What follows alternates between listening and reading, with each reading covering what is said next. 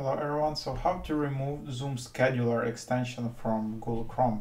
So I'm talking about Zoom Scheduler, so this one, it's a Chrome extension, there is also a Zoom Chrome app, it's different things, but this one, if you have it, you can really easily like schedule a meeting and start a meeting in Zoom and stuff like that.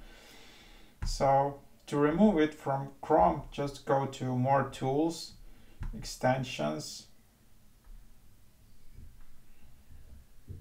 and then you will see like an overview of your all Google Chrome extensions which are installed in this particular uh, person for this browser. So then you see the Zoom scheduler. So for start, you can just like toggle it off and then it will be, it will disappear from here. Uh, then if you just want to completely remove it, you can just click remove and then uh, you can also remove zoom scheduler completely. And this way it will be removed.